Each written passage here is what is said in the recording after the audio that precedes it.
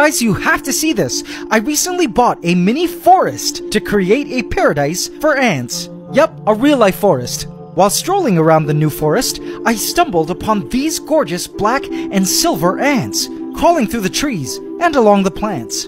I was familiar with the genus. They're Polyrhachis ants. But to find the exact species, I sent samples to the lab for identification. Check my page for part 2 to know what species they are.